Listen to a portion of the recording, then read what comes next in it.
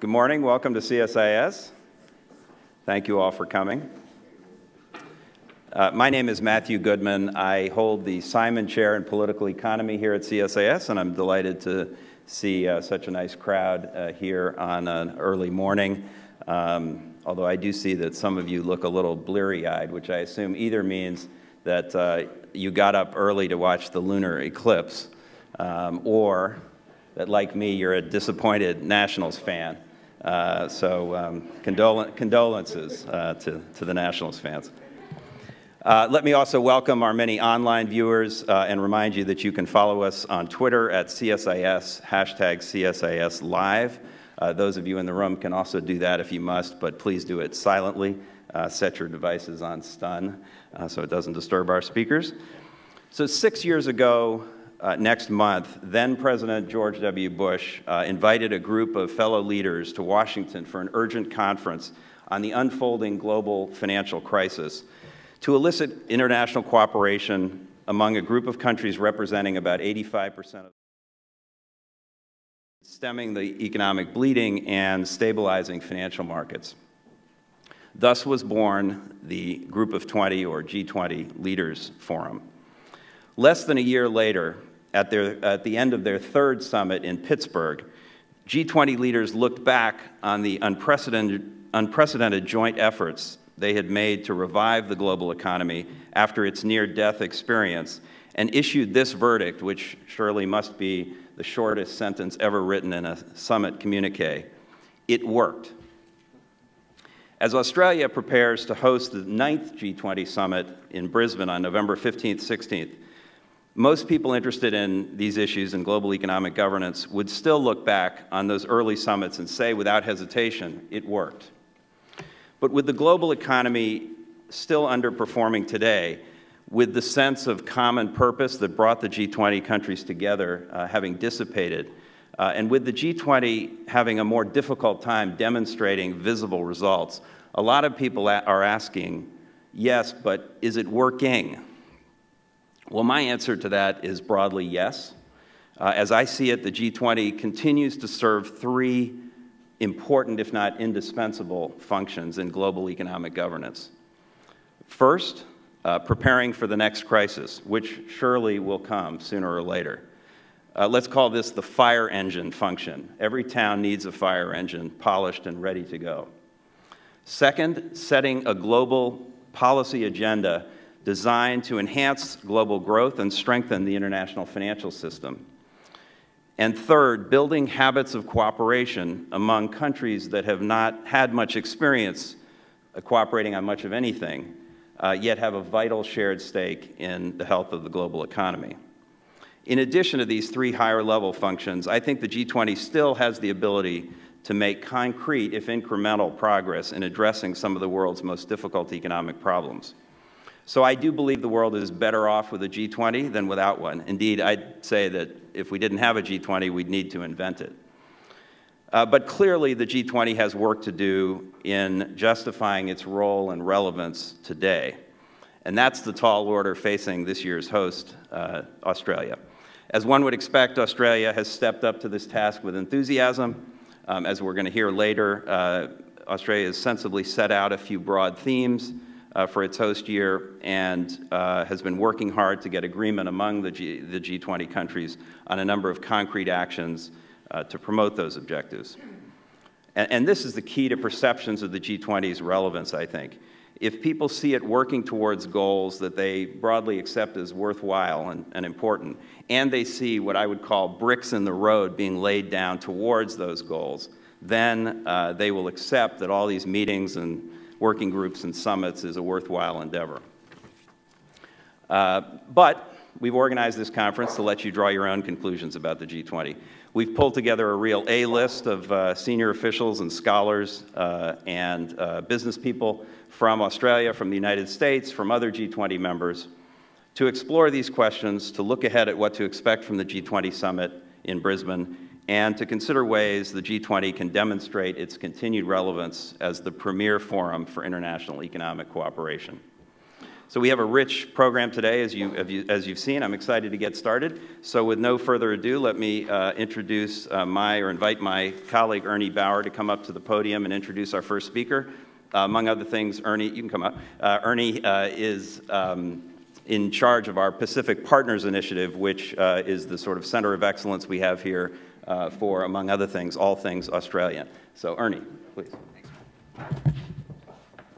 Thank you, Matt. Um, and congratulations on, the, on gathering this incredible group of uh, speakers, uh, experienced experts, and, and a great audience uh, the morning after a, a, a, Nats loss, which is a, a real stinger for Washington.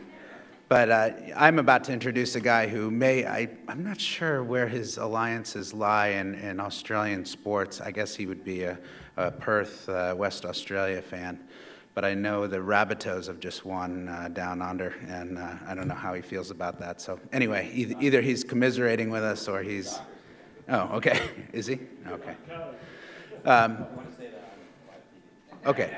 He is a Dockers fan. For those of you in Australia watching, and if he can disclaim this. But when Matt um, Matt, of course, ably handles uh, uh, the G20 um, uh, portfolio here, but when it comes to Australia hosting, I lobbied hard to, uh, for a chance to get on the, on the docket today and introduce a good friend and a real, um, a real institution, I think, in Washington, someone who's raised the alliance uh, between the United States and Australia up to levels that we haven't seen before. And he's been a champion of this relationship far longer than his time, his five years here in Washington as ambassador. Ambassador Kim Beazley is, um, is a real uh, man of Australia. Uh, he's run uh, all parts of Australian, um, uh, or many parts of Australia's uh, governance uh, structure, from finance, finances to defense and security relationships, and, and, and now diplomacy and, and foreign policy. Uh, there's no better person to talk to us uh, today, I think, to set the, set the context anyway for Australia's hosting the G20 in Brisbane. So, Kim, uh, please come up and uh, thank you for joining us today.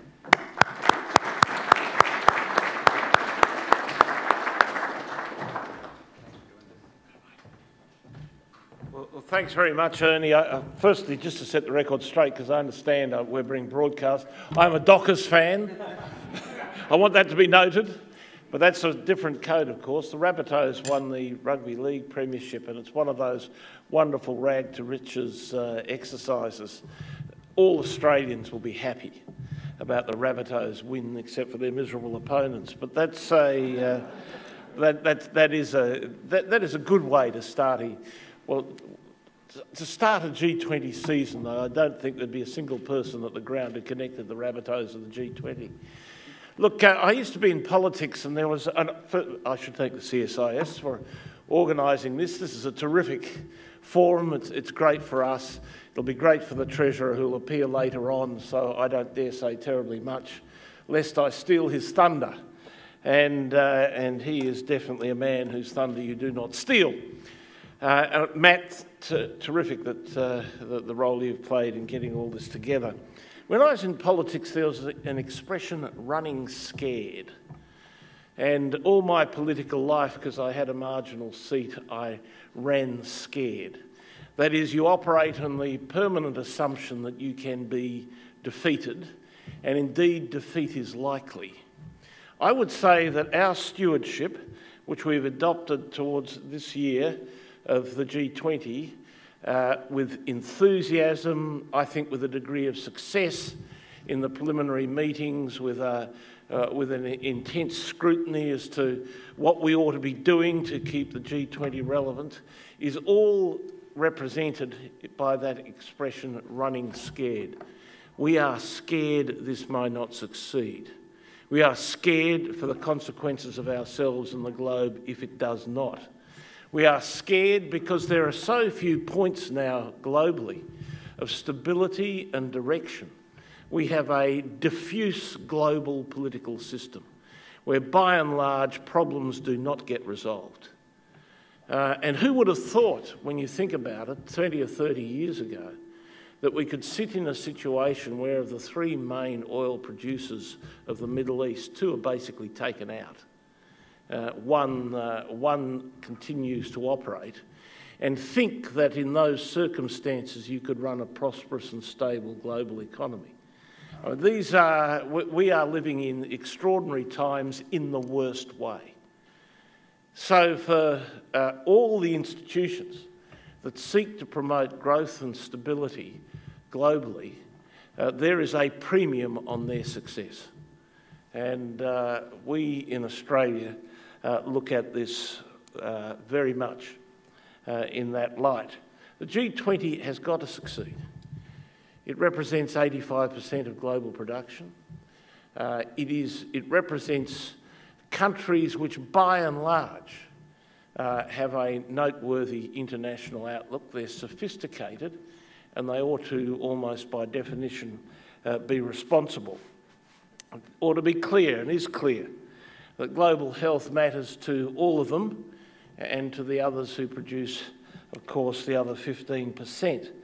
But the current rates of global economic growth, trade and employment, as reported by the IMF, WTO and ILO, are really way below where they could be, and certainly way below where they were prior to the global financial crisis. For example, the IMF this year predicts 3.4% growth. The average uh, before uh, the crisis was about 4. The ILO has identified us as having 62 million fewer jobs globally uh, than would have been the case if the pre-global uh, financial crisis uh, growth rates had been sustained. Uh, when it go, comes to global trade, WTO is predicting a 4.7% growth this year, but that compares with a 6% average in the period of time before the global financial crisis. So, whatever it is that the international institutions have been doing, and we're now quite a long time from the peak of that global financial crisis, what is not happening is us being back at, uh, at where we were at that point of time. I actually think that this is a, a moment when the G20 actually needed Australia uh, to be in the position where it is. And you know, one doesn't particularly want to get up, and Australians, not the Australian form to, to boast national attitudes. But I would say that uh, there'd be no member of the G20 more devoted to its success than Australia, more single mindedly uncritical of the view that this is the and must be the premier conversation that takes place on the global economy, followed by the premier locus of global action. We really believe that. And uh, so at this point of time, when for a whole variety of reasons, we're looking at um, uh, sources in the global economy, economy of uh, global management, not just the economy, of hope and direction. This is, uh, from the Australian point of view, uh, very much a key moment. We've put down a, an agenda focusing on three areas. The first is promoting strong economic growth and employment outcomes by empowering the private sector. The second is making the global economy more resilient to future shocks. And thirdly, strengthening global institutions and ensuring their ongoing relevance to the global economy of the 21st century. Now, there's a stack of pieces uh, to the puzzle in all of these. And I've got no doubt the Treasurer is going to tell you exactly how that's going to be achieved uh, when he appears here later on during the course of the day. But uh, I just want to mention one proposition that the Australians are focused on as the sort of way in which you achieve uh, those, or contribute seriously to achieving those three goals. In February, at the February G20 finance ministers and central bank governors meeting, the G20 members committed to increasing their collective GDP by 2% over five years, uh, 2% over what was their prediction as to what they would be capable of achieving in that period of time. Achieving this commitment would be a boost of over $2 trillion and millions of new jobs in the global economy. The ambition has to be delivered through a combination of trade, investment and employment measures captured in growth strategies which each country is preparing to collectively work towards achieving that goal. This is a first for the G20 and is helping to drive our ambitions. Importantly, and this is critical, I mean, one thinks, what a good idea, 2% over and above what we predict in global growth. If the G20 fails to achieve that, it will simply lend massive weight to the view that the G20 is not the appropriate forum for a global economic discussion. The, G, the G20 ministers have laid down one of those litmus tests in politics, the political equivalent of a red line. And the, the G20 simply has to walk across that red line, or the countries in the G20 have to walk across that red line over five years to sustain credibility in the publics, which basically by and large determine the characters of the governments who are, are members of the G20. So we've got a month to go to the Brisbane summit now, and we're at the sharp end of trying to reach that ambition or credible policies to achieve that ambition, and we've still got a lot of work to do, but we're determined to get there. Uh, we're going to continue to work closely and productively with the G20 membership, and that, of course, for us is, uh, is massively the United States. Now, for the event today, CSIS has put together a high calibre lineup of speakers from across the government and the private sector. To mention a couple, of course, Australia's Treasurer Joe Hockey and the US G20 Sherpa Carolyn Atkinson will be here. And I, for one, am looking forward to hearing from them. But I'm also going to be unpardonably rude, having introduced the topic today, because uh, my treasurer turns up at Union Station at about 10 o'clock. So I'm out that door and running scared.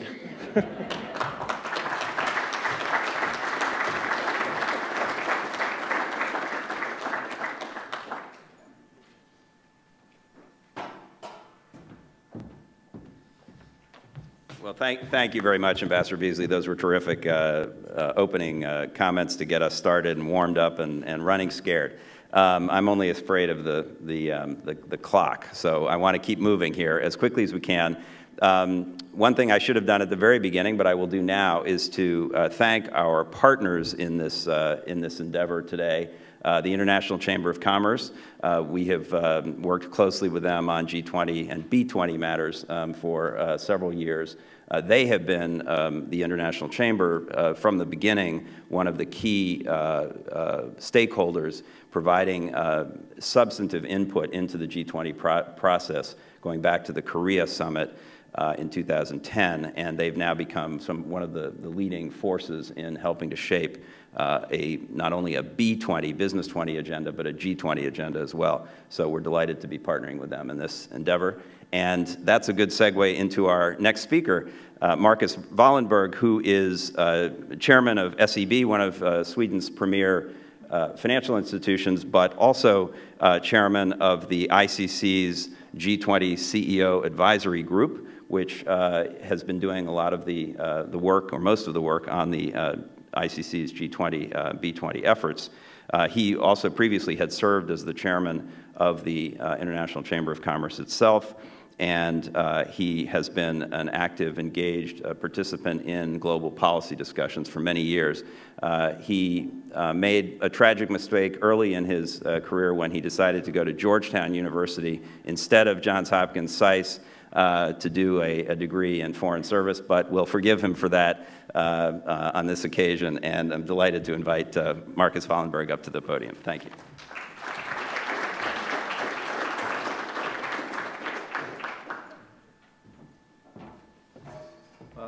Thank you, Matt. Um, I don't know very much about U.S. baseball, so I'll keep my mouth shut. Um, anyway, the, uh, let me just first say thank you, CSIS and Matt and uh, everybody for arranging this. This is uh, always interesting to be uh, here because of the way you handle all these policy issues, always in the front line and always participating in a very important debate. So uh, I've had the pleasure to, to work with CSS for a long time and my family as well. So this is great. And the G20 agenda is very important. And I can't comment, of course, on any G20 matters. But what I can do is that from a business point of view, and, and uh, Robert Milliner, who sits here, and Richard Goyder, uh, put together a terrific program this summer uh, in Sydney to really actively uh, introduce and, and uh, get participation from business around the world in the work towards what G20 leaders are trying to, um, are trying to achieve. Um, sometimes it's uh, important to remind ourselves that uh, with the background of what ICC is all about. You know, I, am a Swede. I'm not even supposed to be in the G20 arena. Uh, but um, I, I, am there because my family has been engaged in International Chamber of Commerce since it was started. And it was started in 1919. I'll give you one minute on ICC because I, I think very few people know what it's all about. Uh, 1919, immediately after the First World War, business people were absolutely convinced that the only way to stop war and hostile actions was through more trade and more investments, nothing else. So a bunch of business people got together, formed ICC, and it's known, I think, today for some policy uh, work, but primarily for regulating without government interference the terms of trades between companies all over the world. So ICC is a conglomeration of tens of thousands of companies around the world who agrees on how to trade with each other. And on top of that, having and how to finance that trade, and on top of that, also settling disputes through an arbitration court system all over the world. That's what ICC is for you. But I'm here tonight or today to uh, on two hats. Uh, the first one being chairman of SEB, uh, which is uh, a Northern European uh, bank primarily involved with businesses, and also then, as previously was mentioned, as a group of chairman CEOs who have actively decided to want to participate in preparing on the business side for the G20 uh, agenda. And why are businesses getting involved in this? I would say primarily because we've come to the conclusion that we have to influence politicians to tell the business side of the story to get this common goal of achieving more growth going forward. The business has to be part of that process, we believe. And that's why people do put a lot of effort behind it. So I'll give you a little bit of background from a European point of view. So just a few words on Europe and that's where our business is primarily uh, based. And of course, you can be quite concerned about the stagnation signals that we see right now. And also the burdens that are being carried because of all the excess public and private debt burden. There's still significant adjustments that several countries needs to make to regain competitiveness in our area. The fiscal restraints make the room to maneuver very limited. In most of Europe, the recapitalization of banks is still ongoing in a slow-moving way, and the European Central Bank is still fighting to restore confidence. We are truly experiencing a monetary policy experiment where the patient, the global economy, is trying to get its way out of sickbay. But we shall salute all our policymakers for keeping the patient alive for the past six years. The central banks has not completely gotten its patient back on its feet, but it is there and it's getting into better shape. What we need now is structural reform. Last week, I spent a few days in Spain and Portugal. Um, the financial crisis clearly hit that part of Europe very, very hard. But hopefully the reforms, and there have been some substantial reforms taken there, the wheels will slowly start moving again. So don't get me wrong, I salute the EU institutions and many of the things that they've done in the, done to reform and regulate. But as always, the pace of action is of the essence, and we need more. If we don't, we might enter into a long period of stagnation. One important step that should be taken is to make EU single market more complete. For example, I believe that the energy sector, the digital economy, and the services sector should urgently be included in the quest to form one single market. This is one key to unlock greater potential for the European Union going forward.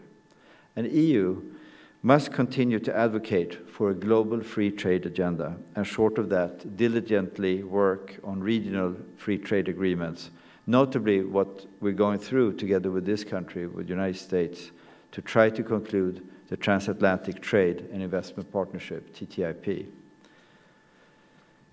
As mentioned earlier today, the recent evaluations by the IMF and OECD and the World Bank highlighted the significance of lower than expected growth rates in the global economy. This will have a severe impact on job creation and unemployment. We all, of course, know that already. But I believe it has to be underlined time and time again. We just cannot lose track on how important the task of the structural reforms are for the development and social stability of our societies on a long-term basis. The B20 believes that to meet the additional, the 2% additional growth target, G20 countries must commit collectively to implement unilateral structural reforms that create open and competitive environments to boost employment and prospects for diversified and sustained growth. It is difficult not to start off by stating the importance of a stable political, judicial, and security environment for any invest investment you have to remember that business people try to avoid risk the whole time. That's why this is a very important point. Not the least for long-term investment and for the visibility and stability in terms of rules and regulations are, are very, very vital. So through my involvement on a day-to-day -day basis with SEB, I see the need for new regulations that we've seen on the banks. But on the other hand, I think it's crucial that we all understand that the combination of all regulations imposed on banks the last few years has and probably will dampen economic activity. This in turn will hurt the recovery. It will also increase the risk for deflationary tendencies. We need investment and we need banks to be open for that type of business going forward. So when you look at the tension and the turbulence that we see in Eastern Europe, Middle East, and Hong Kong, it is surely affecting the business climate in those days. The spillover effects are, of course, global. With political tension, protectionist thinking is regrettably on the rise. It takes political leadership and determined actions to safeguard our achievements in the global free trade arena. Whether it's the single market in the EU or the WTO uh, which is a very important institution for us who deal with free trade. So the question is, how do we remain vigilant, cautious, and responsive to all these protectionist tendencies going forward? So I would argue that we risk getting stuck in a long-term low-growth scenario in which job creation is so slow that economic and social tension will spill over into further political instability. In some ways, you could say we are in a catch-22 situations where the investors, the money is there, but they're not really engaging at this time to the fullest extent. So the good news is, is that we actually put behind us a period of historical deleveraging throughout businesses and financial institutions. They are now, the banks are now, most cases well capitalized with solid liquidity and thus well positioned to invest if and when the right circumstances would arise. But the not so good news is that due to the global downturn, there is a clear industrial overcapacity in many sectors. So even if the economy would pick up at this time, it is doubtful that companies would build out capacity in any significant way to cope with that increased demand. So how do we break out of this catch-22 of lower prospects for investments, unpredictable situation, and actually do create a new wave of investments? I'll go into the B20 and the G20 now. So the, the G20, as I said earlier, is a very natural focal point for the ICC. Over the past six years, ICC has been very much engaged in this B20 work for preparation of the G20. And we formed, as I, the, the, the, advisory group, to get about 40 CEOs to be involved in this. So now, when we have discussed all the issues in Sydney, in Sydney, which was very, very well organized uh, in preparation for the G20, I think that we have now focused on four major issues that should be important, or we think are important for the global economy. The first one is to get the effective operation of financial markets, as I said earlier. The secondly, to development of the global human capital.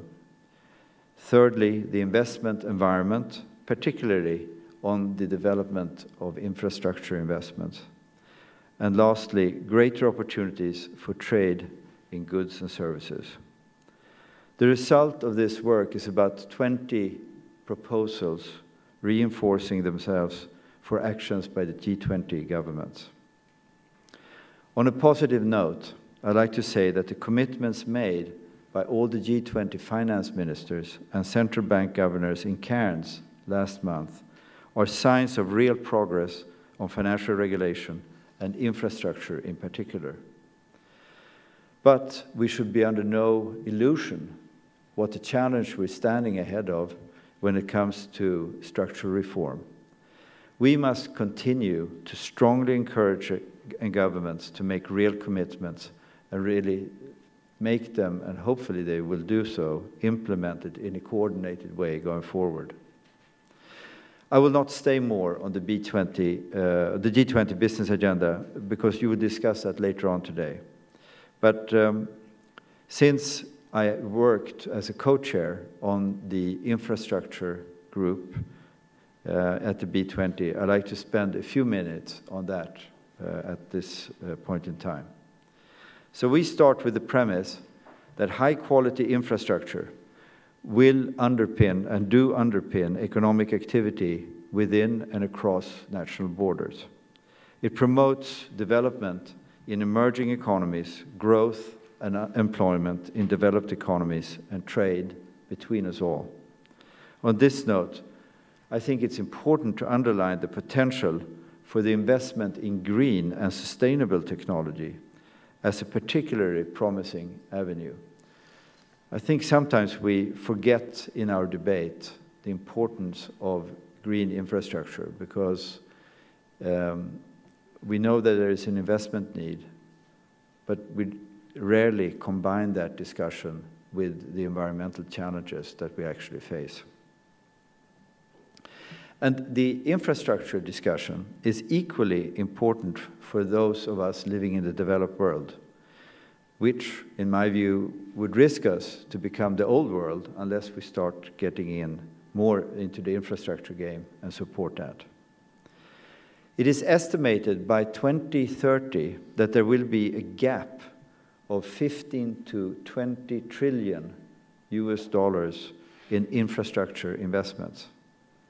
15 to 20 trillion. That's a huge gap. And one potential capital pool to tap is actually the liquidity held by the global banking system to satisfy the new regulation. Just imagine if we could get a portion of that to fund infrastructure projects. This is one key challenge we all have for the future. And there is an estimate that over the long run, to close this gap would create more than 100 million jobs and generate 6 trillion in economic activity every year. That is a price that we would like to achieve. And a big part of this solution is greater private sector investment in productive infrastructure, partnering with governments to build and manage public investments much more effectively and communicating infrastructure benefits to the public. We made six recommendations to the G20 on this, in this specific uh, task group. The first one, to set a specific five-year target on investment in infrastructure. The second one was to credibly establish a national infrastructure pipeline of projects that need to be done in each uh, country. Thirdly, to establish an infrastructure hub, namely to help businesses, governments to facilitate the development and the delivery of a pipeline of bankable, investment-ready infrastructure projects. It turns out that there are so many different regulatory hinders to infrastructure investments that you actually need a group just working with that, and that's why we call it the infrastructure hub.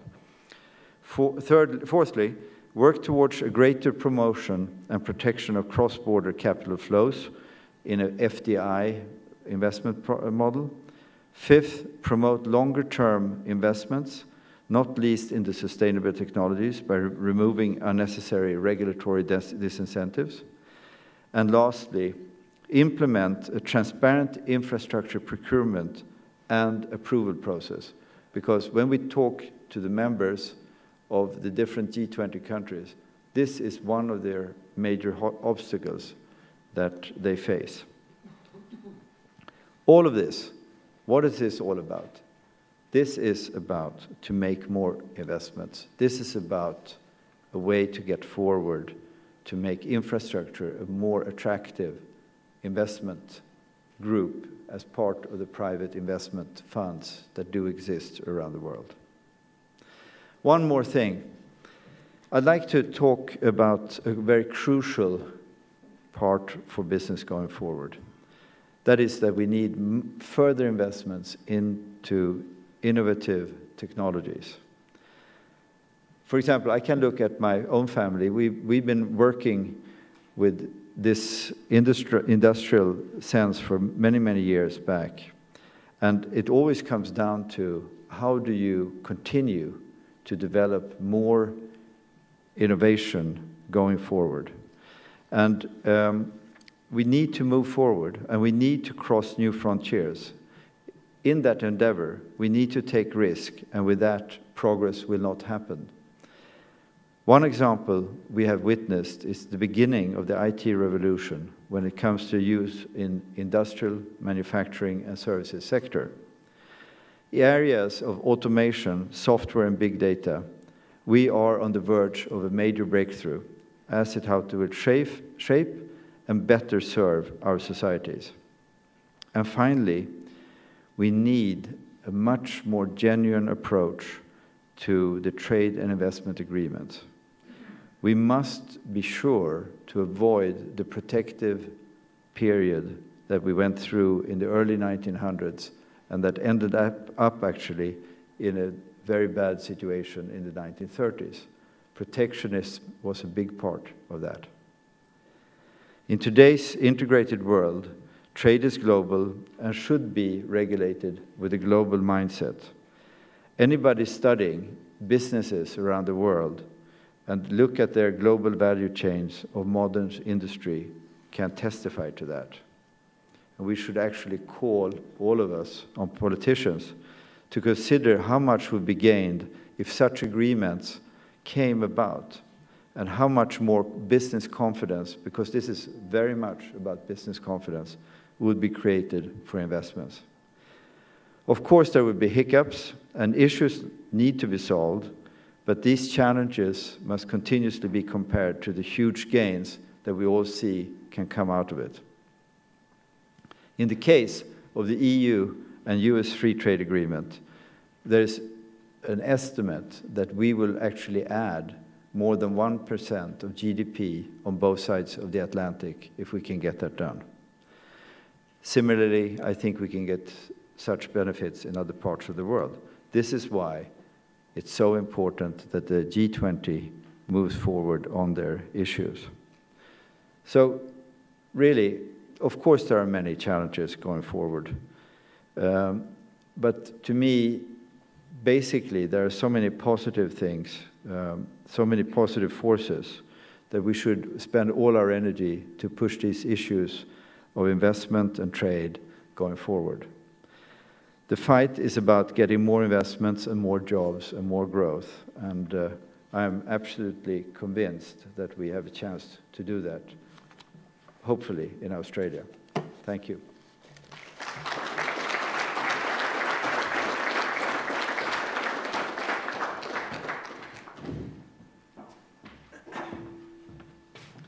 Well, thank you very much, Marcus. That was really um, tremendous on a lot of levels, uh, e explaining, uh, very helpfully and clearly explained uh, the stake that business has in a strong global economy and in the G20's work to that end, uh, and the contribution that business makes to that. And in particular, I like the fact that you highlighted some of the key themes that we're going to be um, focusing on later, in particular trade and uh, infrastructure investment, which you're going to hear a lot about uh, today. So I really appreciate that. Thank you so much um, for those, those remarks. Um, we will now uh, move straight on to our first panel. So if I can invite the three panelists for panel one to come up and join me. Um, we're going to take a break after this panel, but if you need to get up, and there is coffee uh, and there are restrooms and things uh, outside, but we, uh, we will have a short break after this panel. So uh, please come on up, uh, panel one. Everyone's here, right? Good. Okay. Okay, thanks.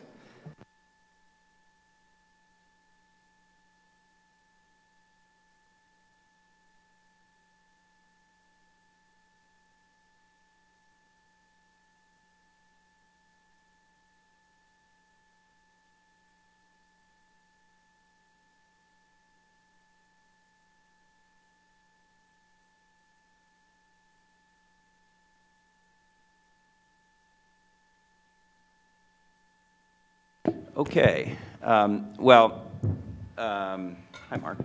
Um, I've said before that there are tough jobs and there are easy jobs at a think tank. And um, actually, they're tough panels and they're easy panels to run. Uh, this is an easy panel.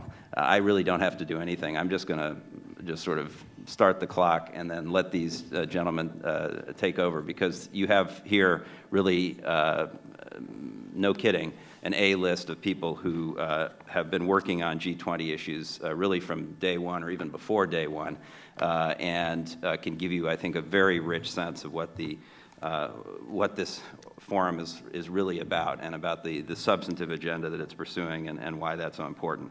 So um, I'm going to just quickly uh, say their names and positions because you have bio information in, in your packets, and I won't. I don't want to hold up uh, their presentations. Uh, at the far end, uh, from me, your uh, left, is Mike Callaghan, um, who is uh, Program Director at the G20 Study Center at the Lowy Institute in Sydney. Uh, Mike, as many people know, was previously the G20 Finance Deputy for the Government of Australia and involved in the G20 from, as I say, before day one. Um, and so he brings a huge, rich, hugely rich experience to this uh, conversation.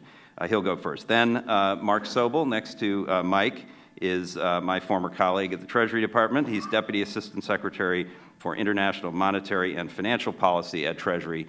there are very few people who can remember a U.S. Treasury Department without a Mark Sobel uh, in it. I certainly cannot. Um, and um, and um, sadly, we are going to lose him if the, if the Senate, uh, in its wisdom, uh, does what the President uh, has asked it to do, which is to confirm uh, Mark, this is not a public announcement, right? This is already in the public domain, I think, that Mark has been nominated to be the Executive Director for the United States at the International Monetary Fund.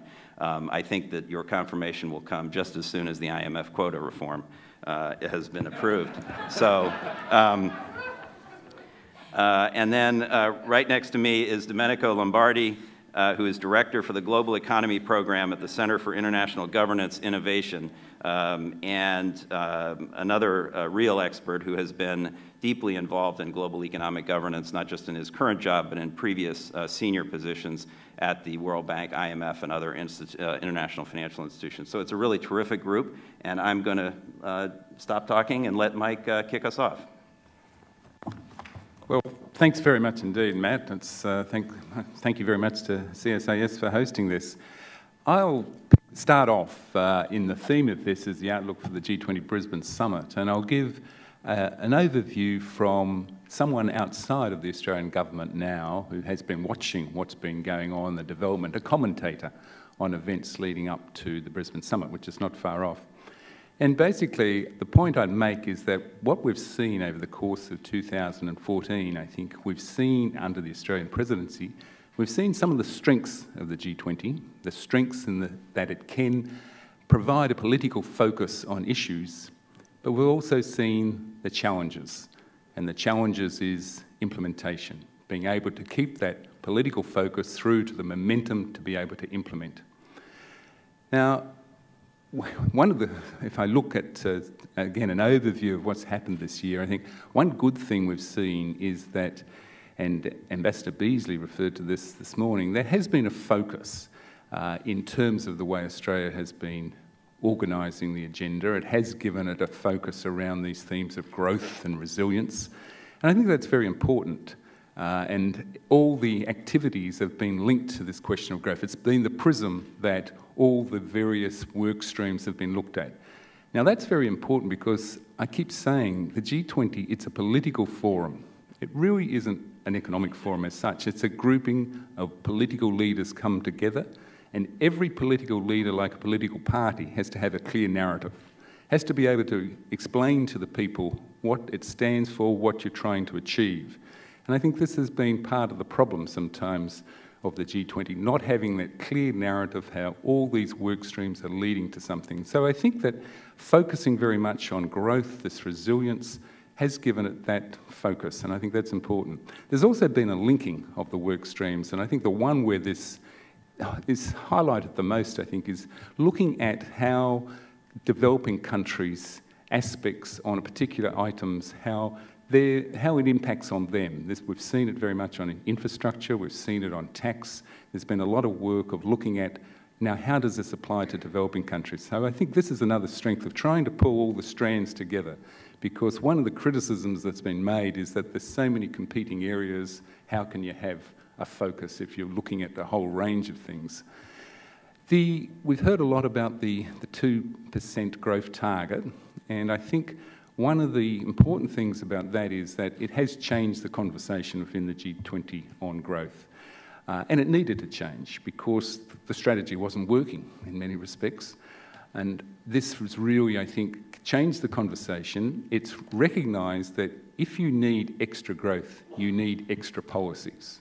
It's as simple as that. It's not as business as usual. You do need to do more. You do need to take that step. You do need to have that extra policies. And I think that's been uh, very important. It has helped to link this theme of growth. Um, what we've seen in Cairns in terms of the policy proposals that countries have put on the table already, the assessment by the IMF and the OECD that if these policies are implemented by the countries, that would add 1.8% to growth. That's quite a, an achievement. And it's a significant success over the preparation of previous action plans within the G20, and we've seen them at every summit. And in many respects, they have been a restatement of existing policies. And as I say, if you want to lift the game, if you want to lift the growth, you need to do more. And I think the fact that we've reached the stage that we have countries making commitments that the IMF and the OECD assess, if implemented, will actually lead to stronger growth. That is quite, a, quite an achievement. And again, this is, I think, the focus, the political focus that can come from the G20. This is one of the strengths. And the focus on infrastructure is very important. We've heard a lot of it. We've seen it this week here with the release of the WEO, the IMF's World Economic Outlook, the focus it's put on infrastructure, how can that be an important driving aspect of trying to improve the growth? And we are focusing, I think the other important thing is that we're focusing on the need to lift the growth potential of countries. As the IMF has said, we have seen the growth potential of countries being reduced as a consequence of the, of the crisis, as a consequence of significant unemployment, the de-skilling of people, the reduction in participation rates, and also the reduction in investment, the decline in the capital stock. And we know that that's essential to try and drive productivity growth. So putting the focus on infrastructure, I think, is an important aspect. The one aspect I think is well, my own personal view where particular focus has to be put on in infrastructure is picking the right projects. That's not the projects which have the biggest political payoff for politicians, but it's the projects which those that are selected and prioritised through a fully transparent uh, cost benefit analysis that looks at all the social economic costs involved. That's the most critical aspect, and that's one where all countries actually don't do very well project selection. So I think all of that is a great strength, but we have the problem of implementation. And at the Cairns G20 finance ministers meeting, the um, French finance minister spoke about the fog of contradiction. He said the fog of contradiction was here we are at the G20 all talking about lifting growth, what we're going to do to increase growth, and at the same time the international organisations are lowering their forecasts for growth. And we're seeing it this week highlighted. The fog is perhaps thicker in the sense of what we've seen now with the IMF three times this year, lowering its forecast for global growth, talking about the potential of a long period of mediocre growth at an inflection point there is, for the public, it's very hard to reconcile these things. The talk about all the great work that G20 is going to do to lift growth and the IMF lowering their projections, their next five-year projections lowering them. Now, this comes back to the challenge, and that is the implementation. What we're seeing is what the G20 is talking about is what they're going to do, not what they're doing right now, what they're going to do in the future. And there there has to be this focus on implementation. I think Ambassador Beazley said it this morning that the G20's credibility is on the line. And it is very hard. We're talking about difficult policies that countries have to go back and win their own domestic political battles. Just have to look at Europe in terms of the concern that Europe is facing now and the challenges of getting some of those reforms through Europe. But it's the same in every country. It's one thing to make the commitments of what you're going to do, the implementation is very difficult, and we have to recognise that. But the G20, I think, needs to really, to build credibility, is put more and more emphasis on the monitoring of implementation and getting the international organisations to monitor what each country is doing, making the commitments very country specific and monitoring them and going forward. The real test, of course, will come when the international organisations, they believe the commitments that the G20 is saying and they increase their forecasts on the basis of what these commitments are seeing. And we're not at that point yet. Now, that's the challenge there. The other challenge that the G20 is facing, but we're also seeing strengths, I think, is in terms of showing evidence of cooperation and dealing with international issues. And I call the international issues those where no one country can solve acting unilaterally, they're ones where you really do need to cooperate. They're ones on international trade, international tax, globally operating financial institutions, and of course, there's climate change is also one that requires international cooperation. But the strength we're seeing in the G20, I think we're seeing it on the work that's been done on strengthening financial regulation and the political drive that's come through the G20 to support the Financial Stability Board in advancing that. Of course, many of the reforms still have to be implemented. It's the challenge of implementation comes. We're seeing it uh, on tax, and I think the work on tax avoidance, tax evasion, is critically important. This is one where you really do need cooperation between countries, but it's very, very tough. But we have seen great progress, and I think that's where we've seen the strength of the G20. The fact that we're at the point nearly of ending bank secrecy with the automatic exchange of tax information, that's quite a remarkable achievement, and I would hope from the Brisbane Summit we would have at least all G20 members committing to adopt the automatic exchange of tax information. That's quite an achievement. The work that's been done on the corporate tax evasion, tax avoidance through the base erosion and profit shifting, the work that the OECD has been doing. The G20 has put the political wind in the sails of the OECD. Uh, and that really, I think, highlights really the focusing of political um, momentum that can come through the G20. And the, it's a very ambitious work program the OECD has, and the fact that they've produced seven of their 15 reports over two years, that they deliver them in September, that's quite an achievement, and it does come with the really a demonstration of how you can get a political momentum driving an issue. But of course, it is work in progress. Many of the difficult issues are still in front. In terms of implementation, it's really, you've got to wait till the whole package is done before things are going to be implemented. And of course, what's coming from the OECD is really soft law, just recommendations. Each country has to take them up and put them in their own national laws. But that's, that's the challenge, the implementation.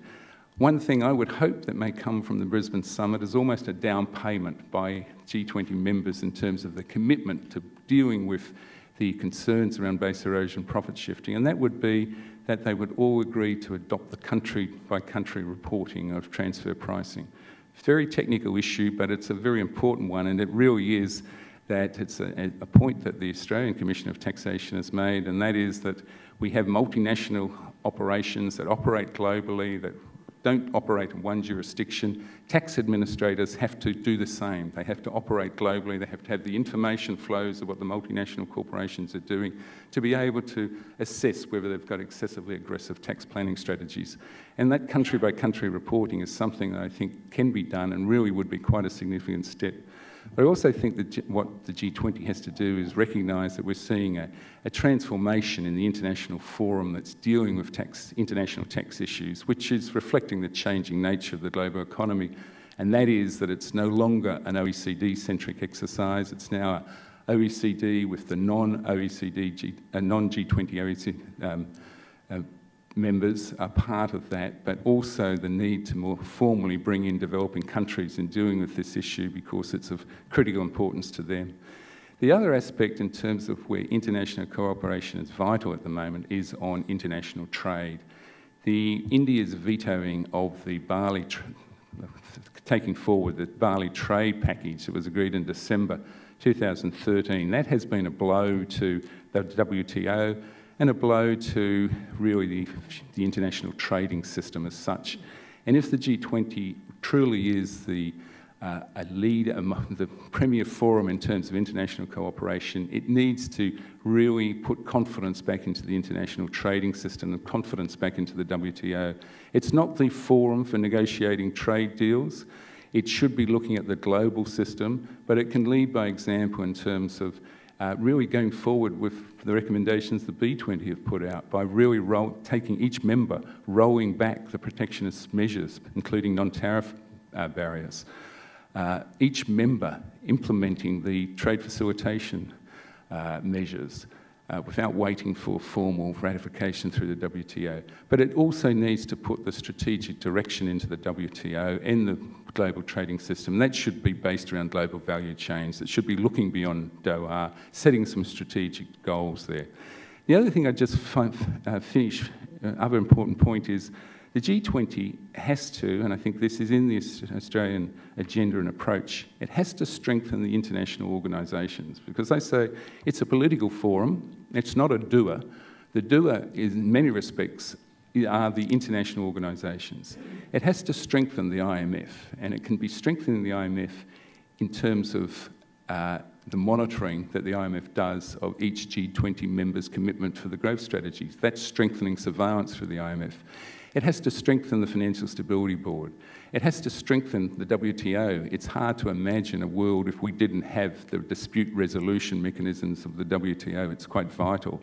It has to advance the Forum for Dealing with International Tax Issues, which is moving beyond the OECD, but it really has to provide that because that is the doer. And there is a gap in the global governance structure on energy. We do need to have a, a new body that brings together both the consumers and the producers in the energy area. We don't have that now. These are things I think are really aspects that the G20 should be looking at because they really are the underlying plumbing of international governance in an integrated world. I'll stop there, man.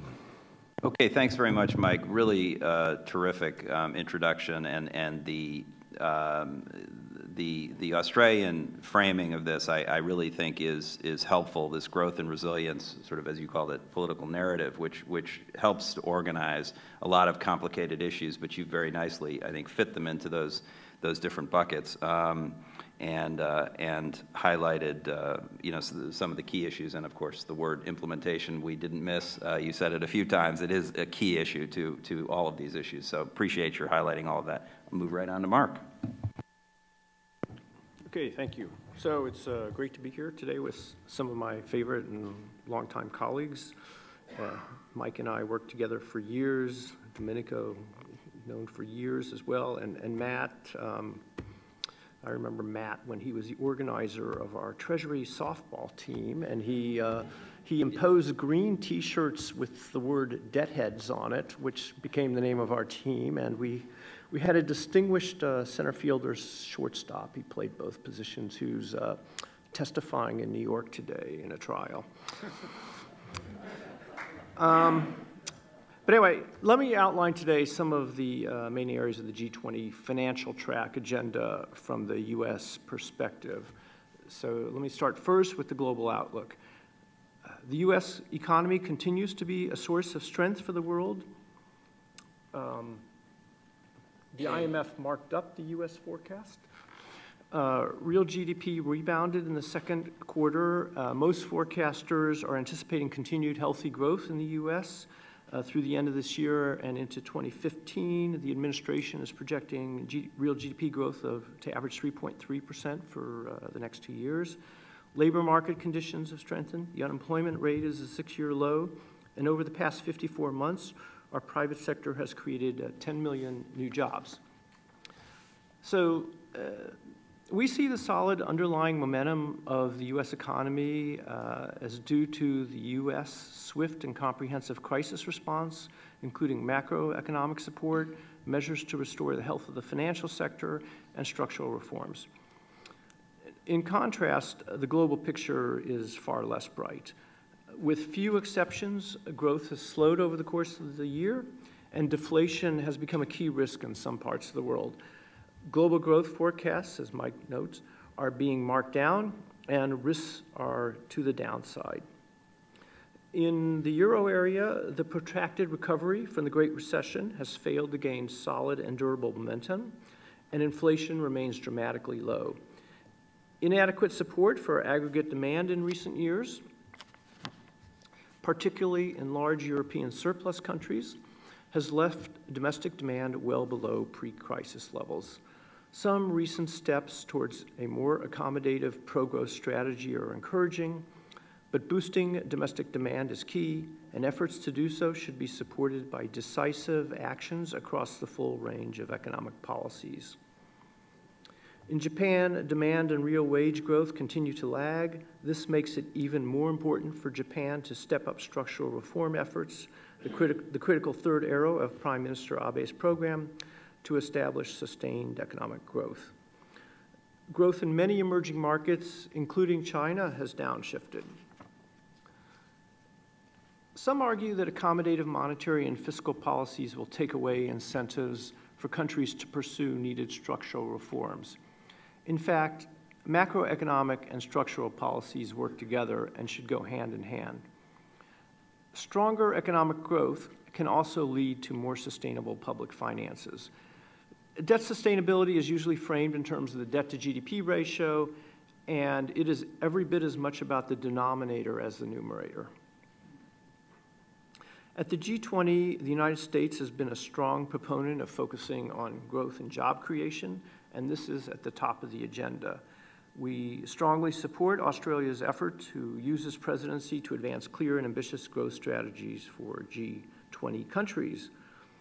And I agree with Mike Callaghan's judgment that the growth strategies build uh, forcefully upon uh, the progress made last year in the G20 and in terms of shifting the debate um, away from fiscal consolidation towards growth, which is clearly where it absolutely needs to be.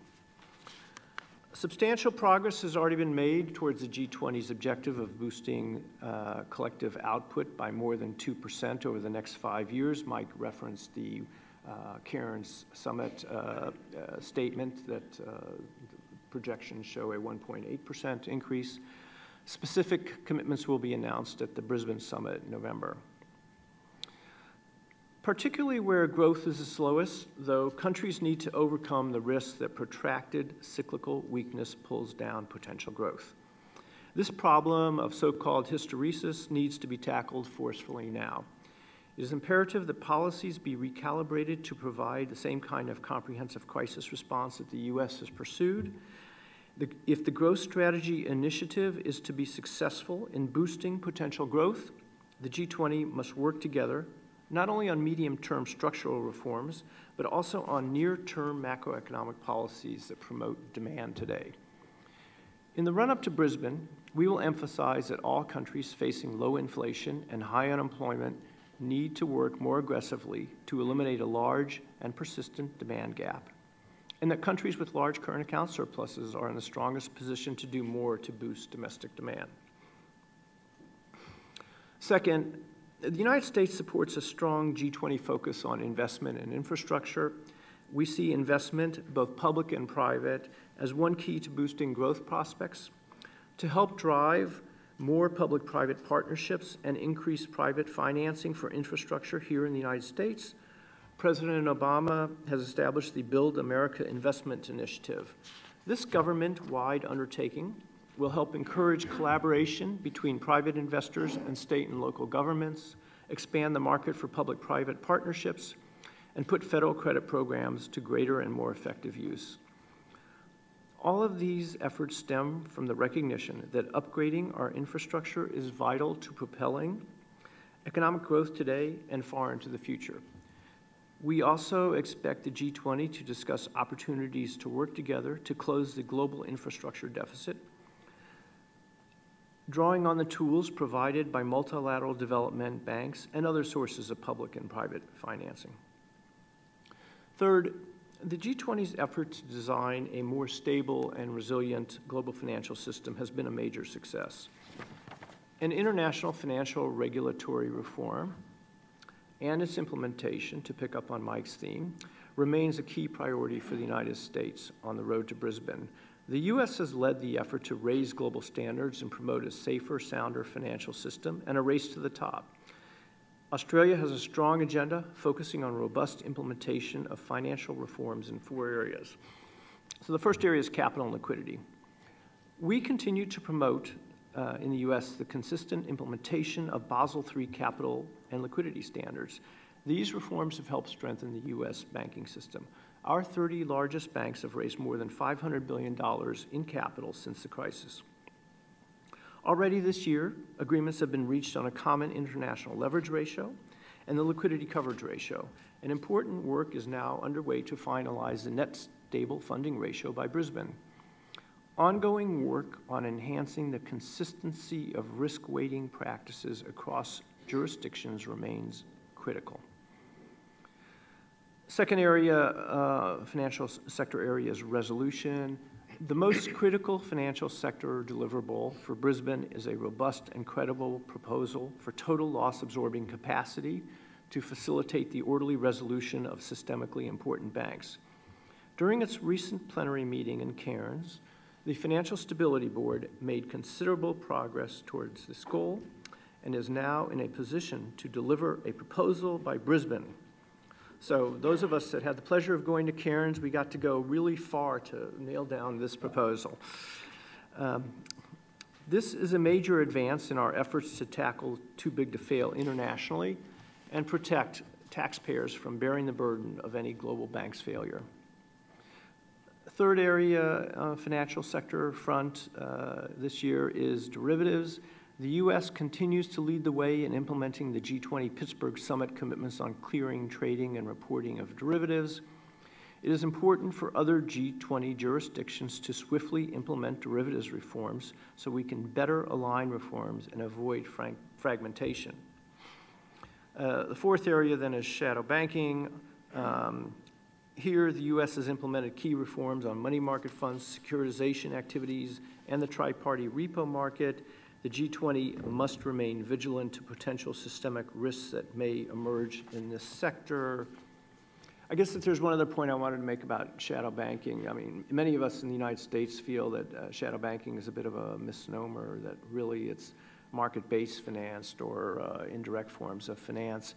And, and it's an important issue because um, shadow banking has a bit of a pejorative connotation, but um, in fact, uh, many parts of the world, many countries need to develop uh, indirect uh, forms of uh, finance to uh, provide for greater uh, financial reform and liberalization.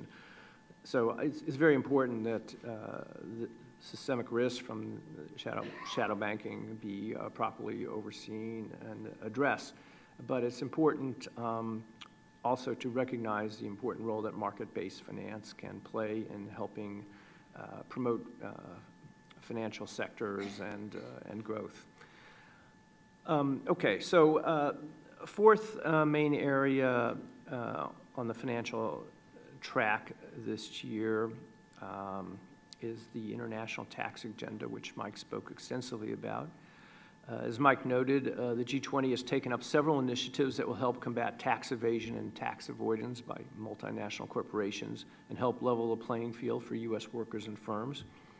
Uh, one major initiative is the G20 OECD Base Erosion and Profit Shifting Project, or BEPS. This project aims to level the playing field and end mismatches that companies exploit to avoid paying taxes. While this project will not conclude until the end of uh, 2015, the United States is confident that BEPS will produce tangible results and make progress towards accomplishing its goals I think there's important uh, overlaps between the BEPS agenda and uh, the debates we're seeing in the United States about uh, inversions. In the area of fighting illegal tax evasion, the G20 is continuing the work led by the United States on the automatic exchange of tax information with FATCA uh, in 2010 the uh, Common Reporting Standard, which is the standard for uh, addressing uh, automatic exchange of information, will accomplish the multilateralization of FATCA, or as we're now calling it in the United States, FATCA for all. Um, with the continued support of G20 member uh, nations, these initiatives will help level the playing field and promote a fair uh, tax system. Um, I'd like to say a brief word on sovereign debt restructuring, which is uh, becoming uh, a discussion point uh, lately. The G20 has focused on facilitating the market-based approach of strengthening contractual clauses in sovereign bonds. So a Treasury, a U.S. Treasury uh, convened working group um, recently paved the way for the London-based International Capital Markets Association to propose new clauses. Um, and since then, these are being adopted. Uh, the, there's new pari passu uh, clause language and a uh, provision for aggregating bonds uh, in a single vote. Um, and, and you probably saw this week that Kazakhstan has become the first issuer with both of these new clauses. Many other countries have issued with the pari passu clauses. Uh, we're hoping that uh, there will be more first movers and many more second movers. Now, while not a panacea, this enhancement of the market-based contractual uh, approach is a critical step forward in strengthening the sovereign debt restructuring process and the international monetary system. And one thing, one further thing to be clear upon is that neither the G20 nor the IMF has any plans to revive work on the sovereign debt restructuring mechanism. Finally, um, we will reiterate the administration's strong and ongoing commitment to passing IMF quota reform legislation. As the world's first responder to financial crises and economic threats, the IMF promotes global growth and stability and protects our national security and the health of the U.S. economy. Passing uh, this legislation is clearly in the U.S. interests and the world's. We remain committed to moving forward with the modernization of the global financial architecture, which the United States has led since the creation of the IMF and the World Bank after World War II. Thank you. Th thanks, Mark. Really um, terrific. Um, a lot of um, important detail in there because uh, this is what the G20 has been working on from the from day one, and it's important to understand how these um, these critical issues of um, growth uh, financial reform and, and, institutional reform have been at the core of the, the G20 ag agreement uh, process from the beginning and, and, and what the outlook is for, for moving the, that agenda forward. So thank you for that. Um, Domenico. Thank you. Thank you, Matthew. Uh, I want to thank you for uh, inviting me to, um, um, to this panel. You know, in two days, uh, I've been uh, at CSIS twice, which I think attests to the uh, increasing cooperation between our respective institutions. So I also have a disclaimer to make that uh, I don't know much about basketball, but, uh, uh, you know, I can talk pretty much fluently about soccer if you wish. And then, you know, coming to today's topic, um, I think the fundamental point is really the premise of our discussion is that, um, as the IMF has made clear, Mike has already recalled that there is a fundamental tension between, um, you know, the G20 that is talking about how to revive growth, growth prospects, and the Australian chair has made this a key priority of its own uh, presidency of the G20, and yet, you know, the um, forecast that the IMF uh, has just released, the increasing downside risks, and the unevenness of growth patterns across different regions uh, of the world. In particular, you know, the, as uh, um, Mark has recalled, uh, the Eurozone continues to act as a drag to uh, global economic growth. Uh, so clearly there is an unevenness, and uh, there is unevenness in growth patterns, but there is also an unevenness, I would say, in how various G20 members look at um, receipts uh, economic policies that are needed, that are required uh, to uh, spur growth. And I think the IMF has provided in these days a very powerful conceptual framework uh, to sort of summarize uh, uh, both the G20 finance, finance, ministers meeting in Cairns a few days ago, as well as the discussion that is going to take place in Brisbane in the coming weeks. And this scheme that was uh, uh, presented by the managing director um, of the IMF a few days ago is a scheme that essentially consists of three arrows. It's always three. Um, and then, so on the one hand, you have uh, uh demand support, uh, the need for demand management policies. And in fact, if you read the uh, latest final G20 finance ministers communique in Cairns, you do see, you know, statements like persistent weakness in demand, uh, we will continue to implement our fiscal strategies uh, flexibly to take into account near-term economic conditions. And uh, clearly, you can have also an idea who uh, might have sort of, um, you know, uh, encouraged uh, this this wording. Um, on the other hand, um, you also have, you know, those countries who believe that supply-side reforms are key. And this is really the way to uh, revive growth. And clearly, some of these countries are leading economies uh, from the Eurozone. And, um, and therefore, uh, you know, you, again, you do see some language to that effect. Supply-side constraints hamper growth. Um, we agree to consider changes in the composition and quality of government expenditures and tax to enhance the contribution of our fiscal strategies to growth. So uh, these are different views, and uh, I have to say that um, Australian presidency um, has done a very, a very good work in terms of uh, putting them into a sort of consistent uh, framework. So uh, demand support on the one hand, uh, mainly focusing on the short term, and um, on the other hand, you know, the need for supply side reforms. And then there is the third arrow, that is um, investment.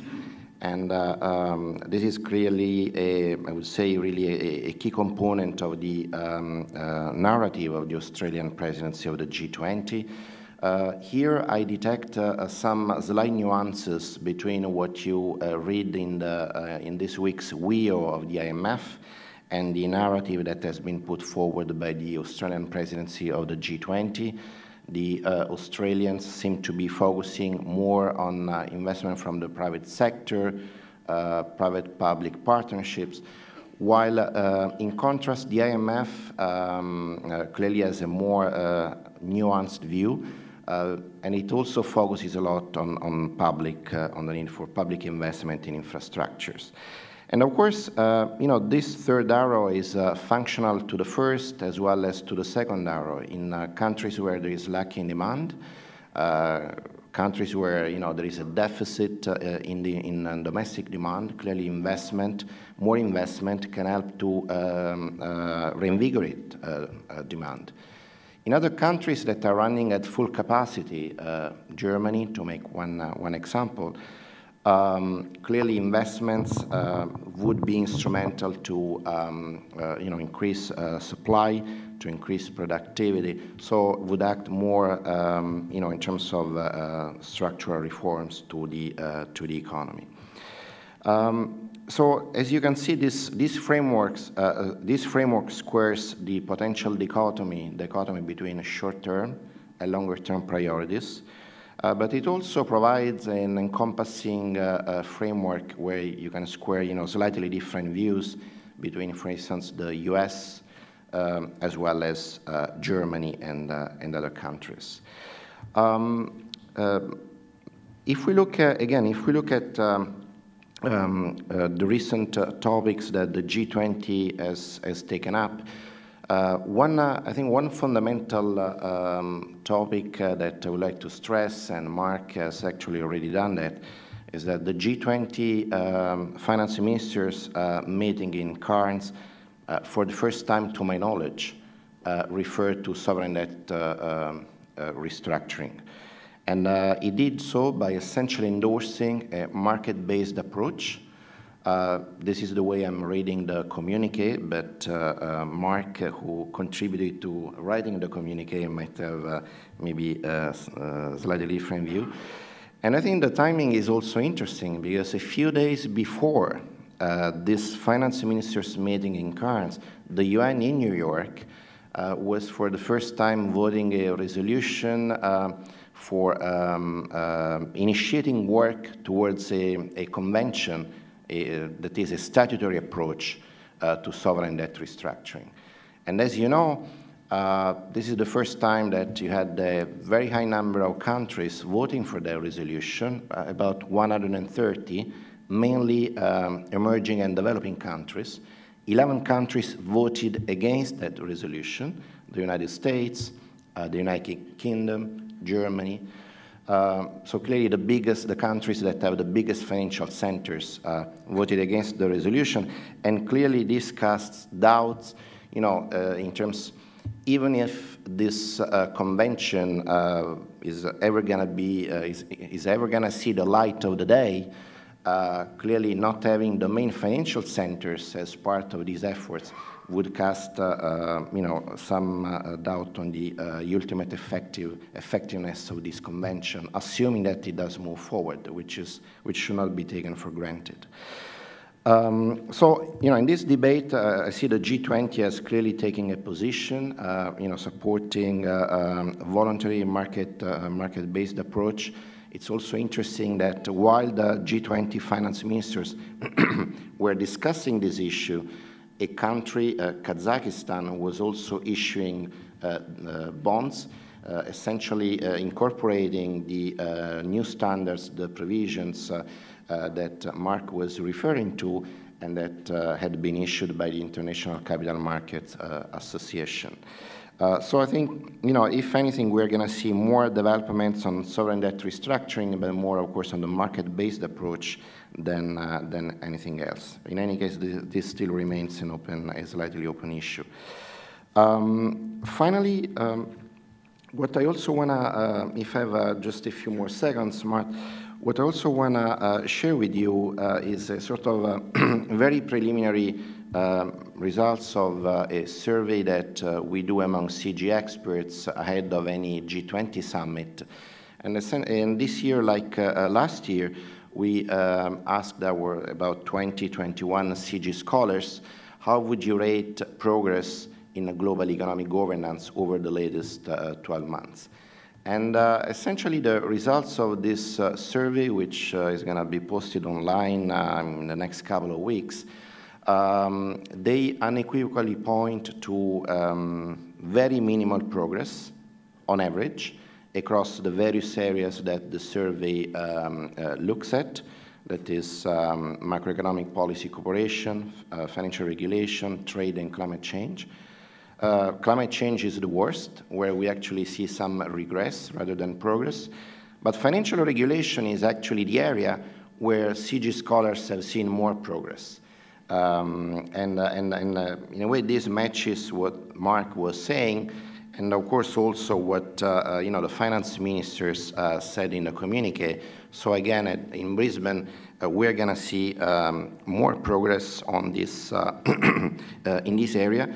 And right now, this really is, uh, you know, the, um, the area where um, more international cooperation is, is taking place.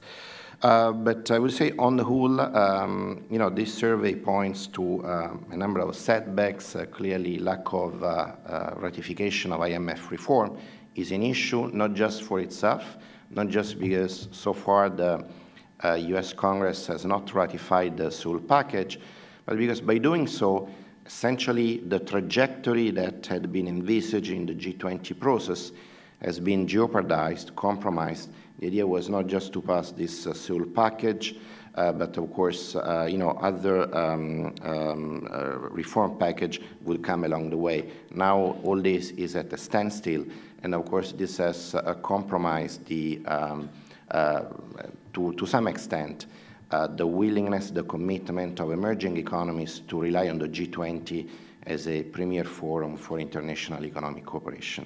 So thank you very much, Matt, and I'll stop here. Thank you, Domenico, and um, uh, particularly your last point about the, the sort of direction of international governance I, I want to pursue because I think it's, it's, it's quite interesting. Um, and uh, but let me, um, let me first um, follow up on one other thing which Mike said, and then I'm going to open it up to questions here after one and a half questions, um, maybe two and a half.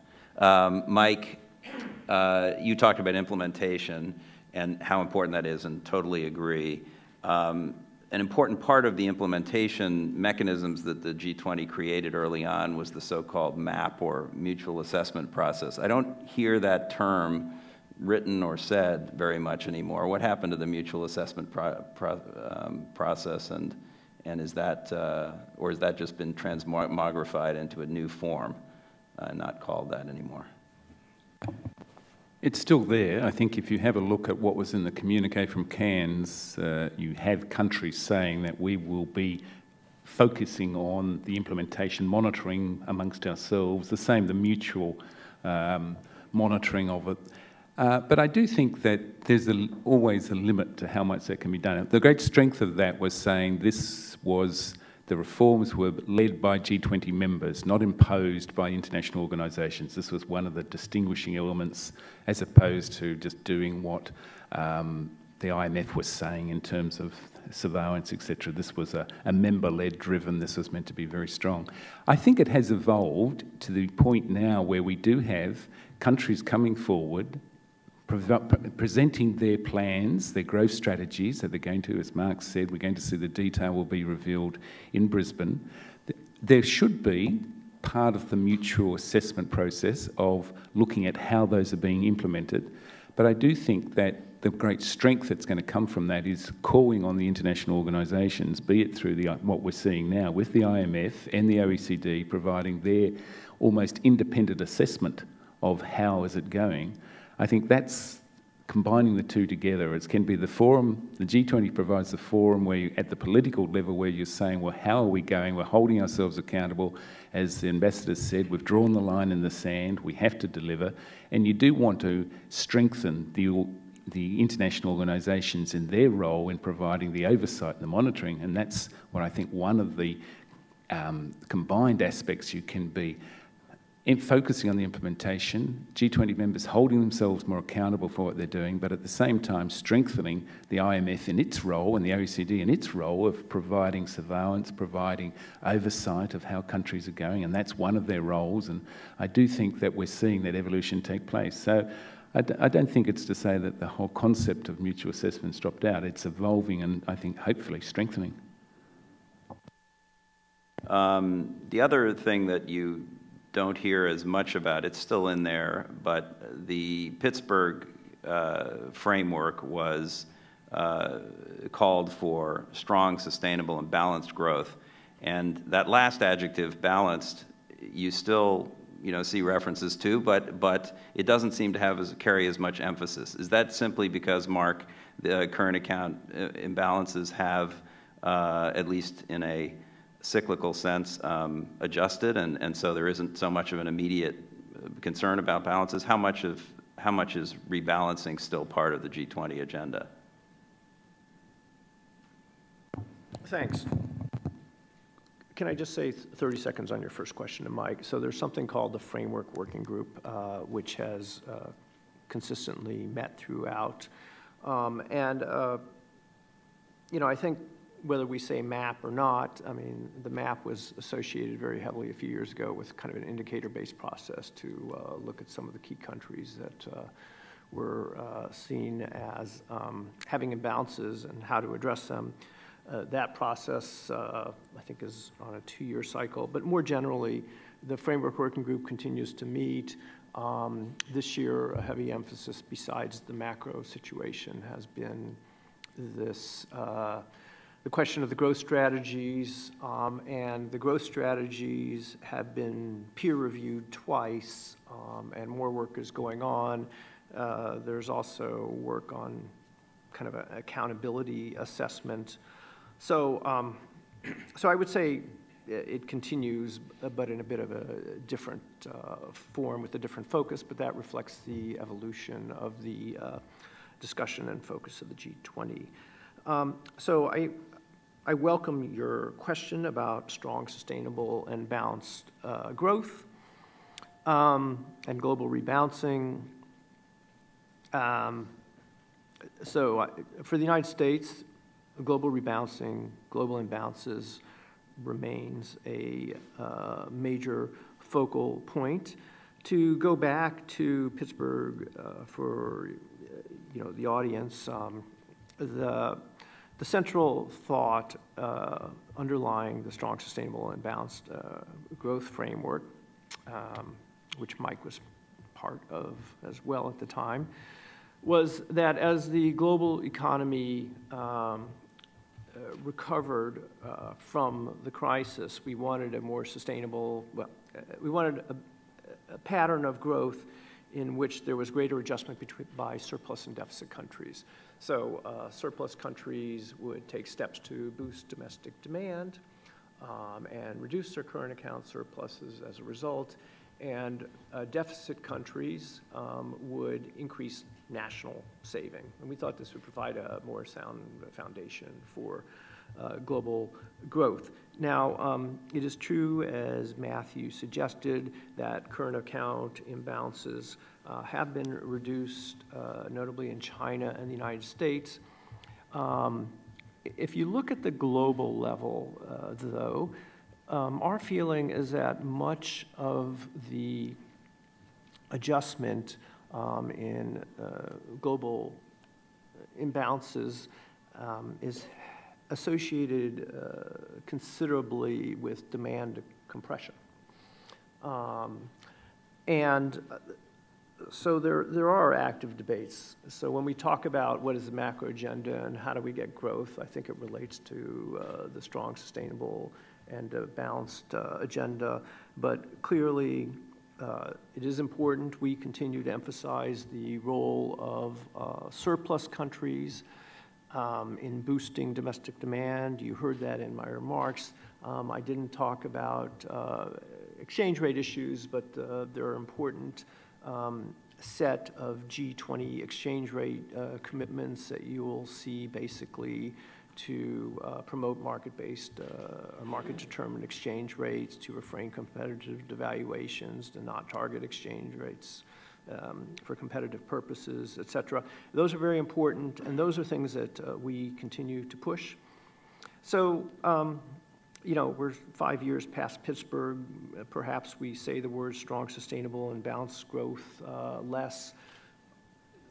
Let, us be honest, there are different views around the G20 uh, on the issue, um, but this is something that remains pretty fundamental to the United States and uh, that we push.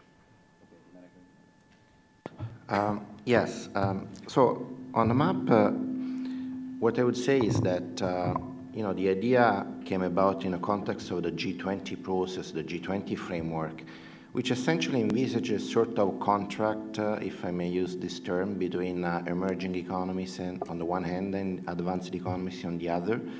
So emerging economies, namely China, would uh, act uh, uh, in a direction to um, uh, rebalance their own economies. And then, and then um, advanced economies would work towards giving emerging economies a stronger voice in, global, in global governance fora. As I mentioned uh, in my uh, previous remarks, uh, this has not been quite the case. And therefore, um, I think that the um, ability of the map to deliver um, real results uh, as a result has been compromised. Um, I think when, uh, you know, when the map was introduced, China was uh, clearly the country to go to with, the, you know, the largest current account surplus. I think both in absolute magnitude as well as uh, a percentage of GDP. I think what is interesting now is that uh, we have one region in the world where demand is extremely weak.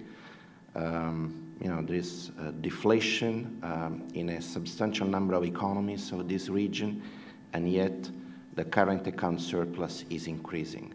So I really think that Europe should be doing more to be a responsible partner of the G20. Um, again, on the issue of rebalancing, uh, in a way, um, and I think this is really interesting the way you know the Australian presidency has cast this issue that is politically charged. Has cast this issue in a, um, a micro-founded way, uh, in, in, in, a way that is uh, um, sort of less contentious. But at the end of the day, if you buy in this uh, need for more investments, what you are doing on the micro side is, yes, more investment, but the macroeconomic implication is actually, uh, you know, um, um, a, a, rebalancing. And therefore, uh, you know, the rebalancing is still on the agenda. However, it has lost the politically charged um, sort of uh, um, feature, and it has been uh, um, it has been cast in a kind of more micro-founded, uh, less uh, politically charged way. Thank you. Oops. Thank you. Um, thanks, all of you. Um, I have another question, but I'm going to withhold that until the end if we have time, because I know there are probably questions from the floor. So if you have a question, please raise your hand, wait for the microphone, identify yourself, and please do ask a question of the panel. Yes, ma'am. There's a woman sitting there. Daniel, thanks. Hi, I'm Nancy Alexander with the Heinrich Böll Foundation. Thanks for the great presentations. Um, Mike, I'd like to drill in on a one thing you said, and that was about the infrastructure agenda and the importance of choosing the right projects. You know, you've really been a leader in um, that, making that message, that important message. And it would be great to hear how you see that happening, particularly given uh, what we see as, as three evolving realities. One, we have nothing against mega projects and transformational projects, but you know, in fields like energy, they don't have a good record of getting like electricity to the poor, meeting some of the goals that we'd like to see. Secondly, the groups that we work with in numerous countries can't get any information at all out of regional uh, pipelines and project preparation facilities, just none. In fact, they've been threatened when they've asked in some countries. And lastly, the World Bank's uh, independent evaluation group came out with some pretty sobering results on public-private partnerships, for instance, that given the uh, uncertain data on efficiency, uh, that PPPs may not provide any additionality.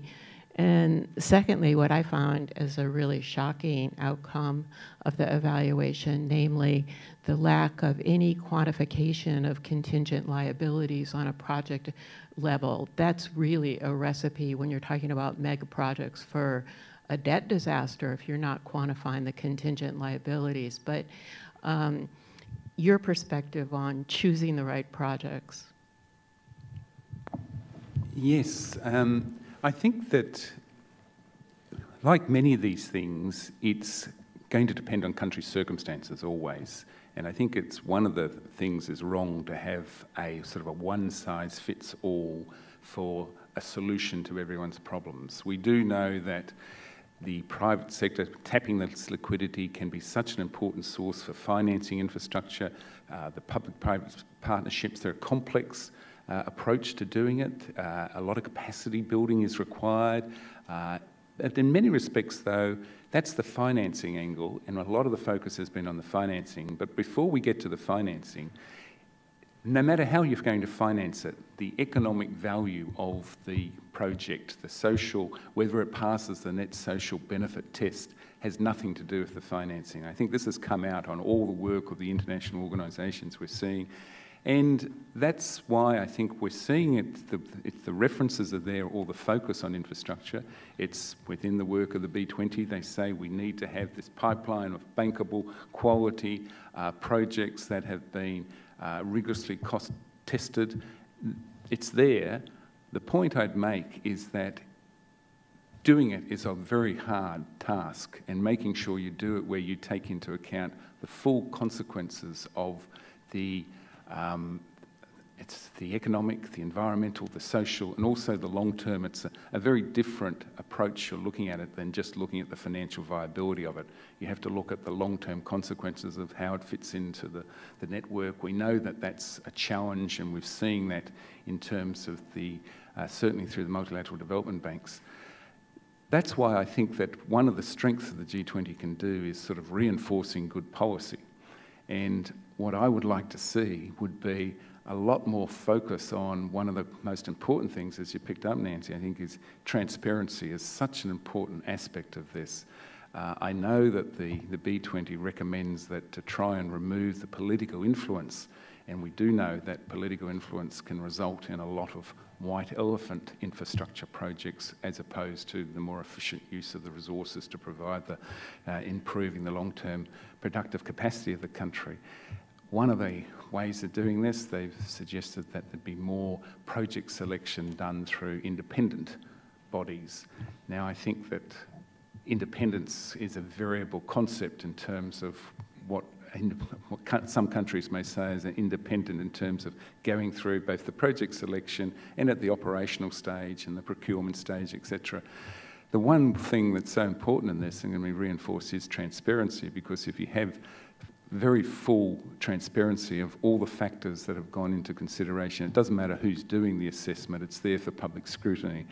And I think that that's, it's there in the work that have been recommendations from the B20, it's there and we're seeing it from the international organisations. In the work that the IMF has done in the chapter in the WEO, they make it very important that it is getting the quality infrastructure projects is where you get this benefit. If you don't have the quality infrastructure projects, well, you're not going to get the benefit for growth and it's not going to get the, the added, the fiscal multiplier that they, the significant positive fiscal multiplier they're talking about.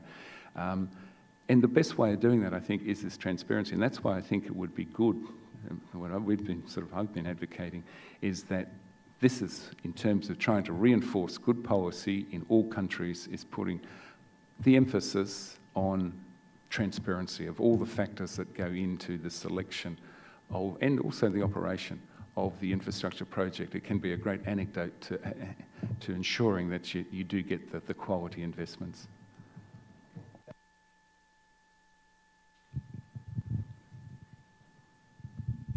Thank you. Hi, it's uh, John Kehoe here from the Australian Financial Review.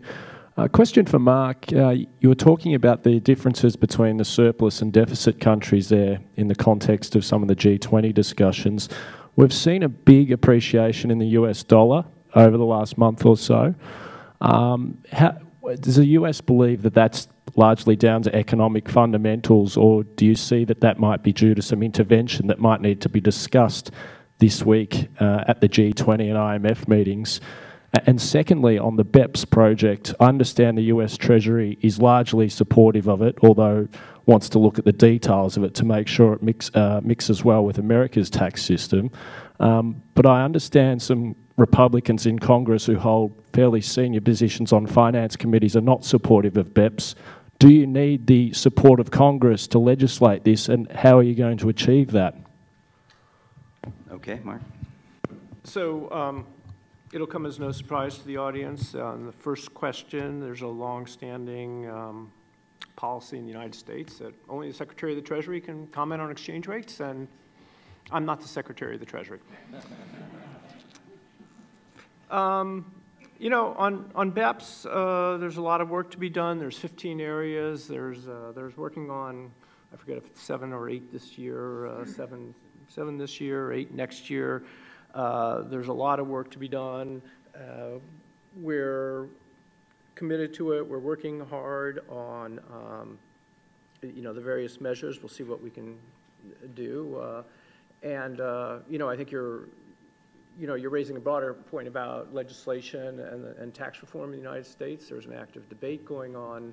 Uh, I think there's a lot of uh, widespread belief that there um, is a need for tax reform, um, but that this is going to require uh, looking at the legislative agenda. And uh, so, you know, we will this is a debate the secretary uh, is, uh, you know, eager to engage in, and will be uh, looking at uh, to work on in the in the future.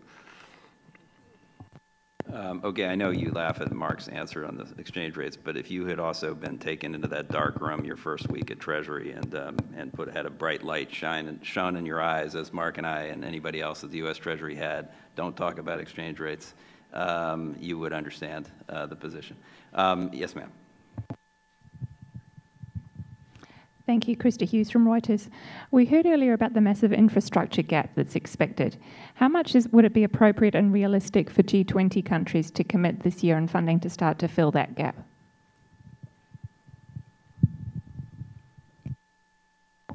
I think that's impossible to put a uh, to quantify exactly the amount.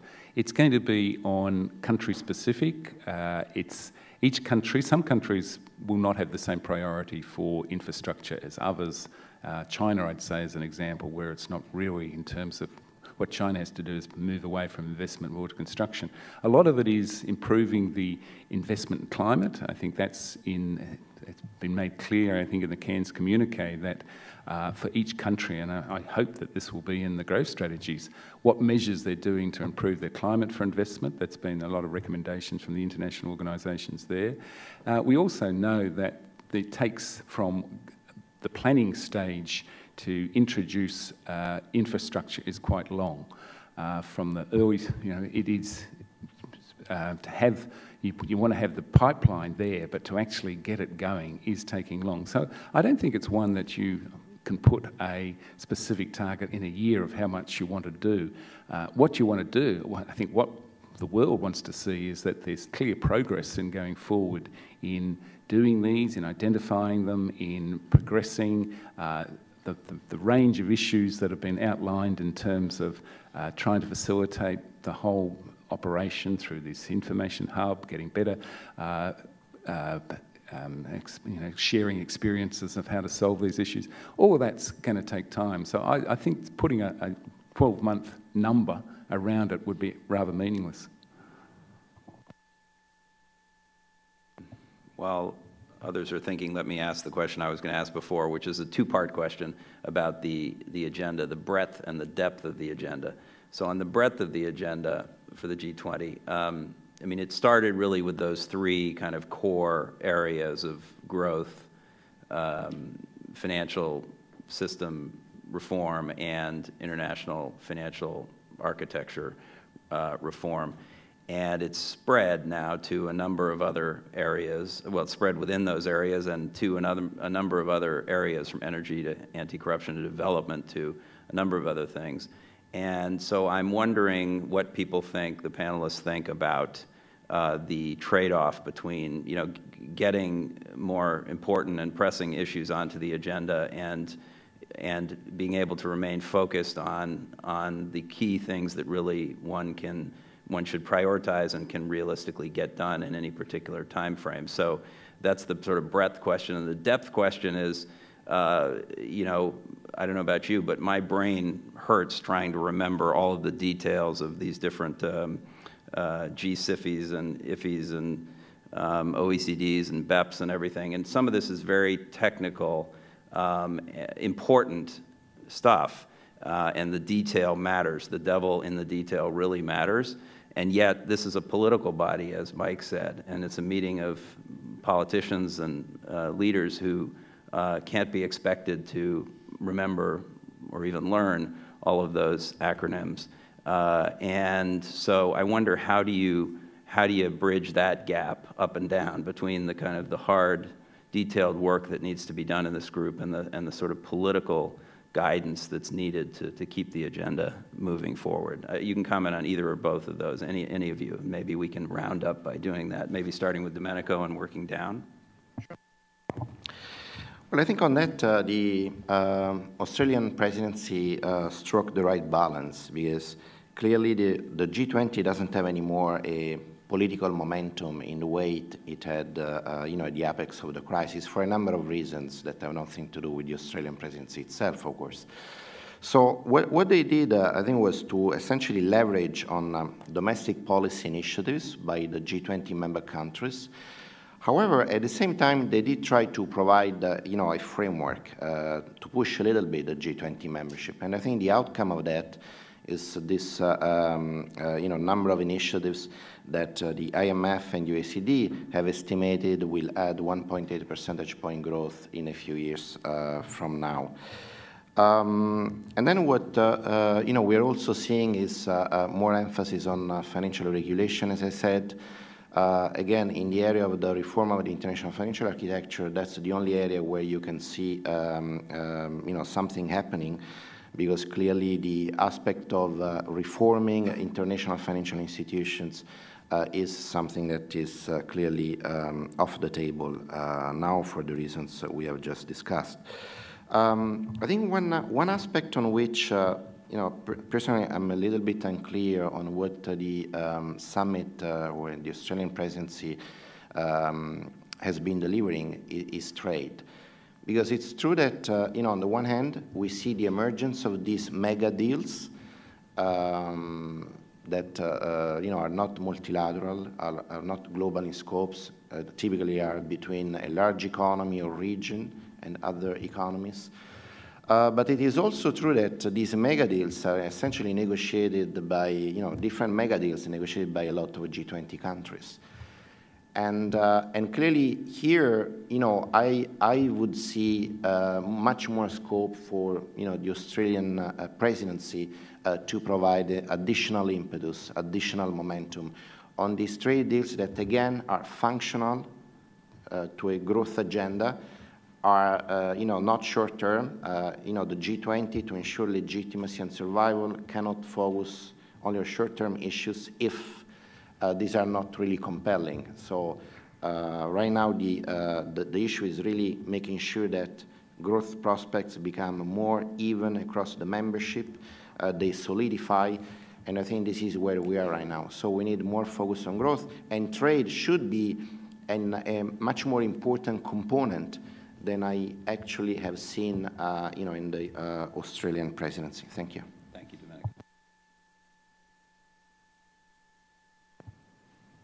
So um,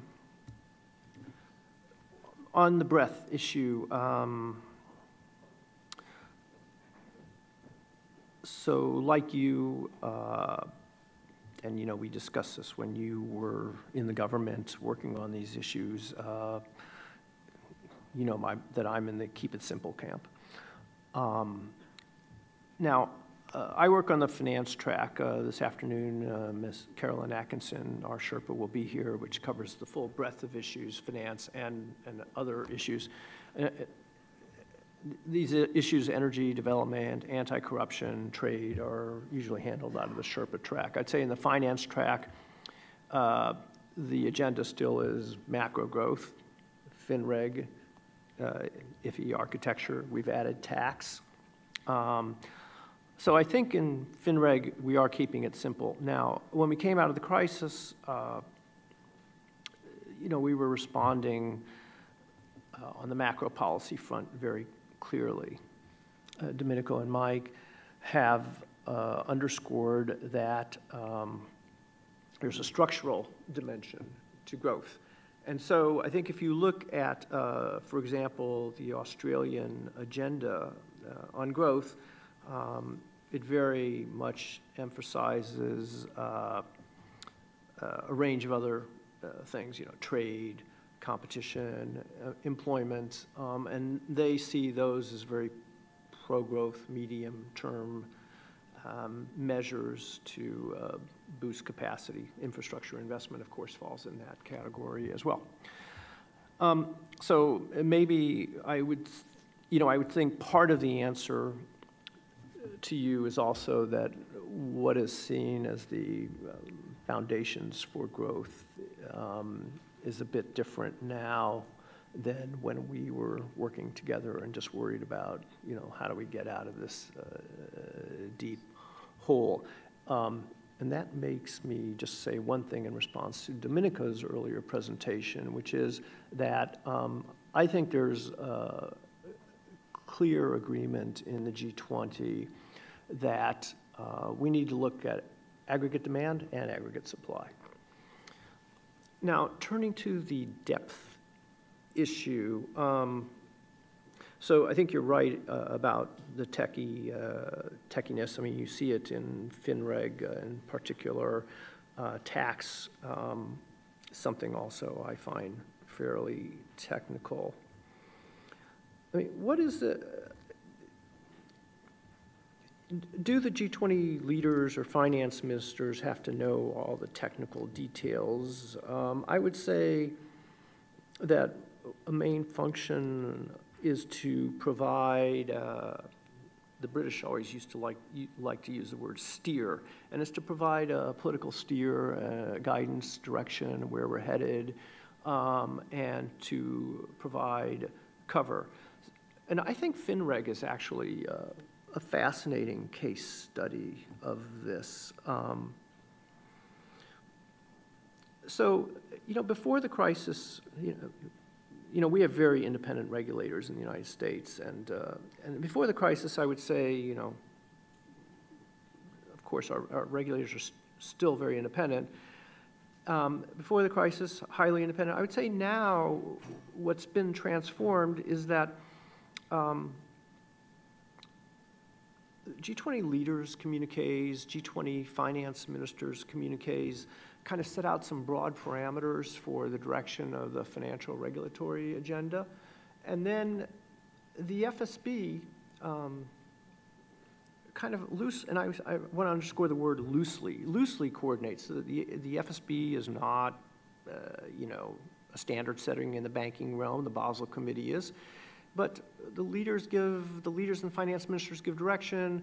The, uh, the FSB kind of oversees that uh, the various directions are being carried out uh, by, be it the Basel Committee, be it IOSCO, the uh, International Association for Insurance Supervisors. Um, and so I think there's a little bit of a more coherence and, and organization um, to the governance structure in financial regulatory reform. Um, but again, I think it is the existence of the G20 um, leaders and finance processes that have allowed this kind of new, uh, I wouldn't, it's, it's not like a black line, very clear, but it, it, it, has allowed this new kind of governance structure to evolve. And uh, as I said in my statement, we've made huge progress. You see it in uh, Basel III, leverage ratio, the liquidity ratios. You see it in the resolution work. Um, you see it in the OTC derivatives front, uh, even if that's coming along more slowly than uh, we anticipated. Shadow banking as well. So, so I think it's, I think we have to look at the leaders and the finance ministers as giving us direction in which, uh, and providing kind of this cover for a lot of the technical work to uh, take place. Okay, thanks. It is a very broad agenda. Uh, it covers working groups across so many things. I think I counted 69 different preparatory meetings right across a whole range of issues. And a lot of good work has been done. I wouldn't deny it. And I think, as you've said at the beginning, there's a lot of just the build-up of between countries that don't have this habit of cooperating. There's a lot of valuable work. But when you come to a leaders' meeting, when you come to a summit, as I say, this is a political issue. It has to have some headline outcomes. You can't come to a summit and say, well, we've made all this incremental progress across all these bits of aspects on the Development Committee and, and this aspect on financial regulation and some aspects this and that. You've got to be able to sell the story, it's got to be able to communicate, and leaders have to lead, and you have to be using what leaders can do. The great strength of the G20 is that leaders can come together, and what leaders can do is they can push the political envelope if you structure it that way. It, they can take it beyond what officials can do, there's a limit to what officials can do in terms of pushing things across the frontier. That's what leaders can do. That's when the big great strength in the G20 when leaders do that. So they have to focus on some outcomes. There has to be headline outcomes.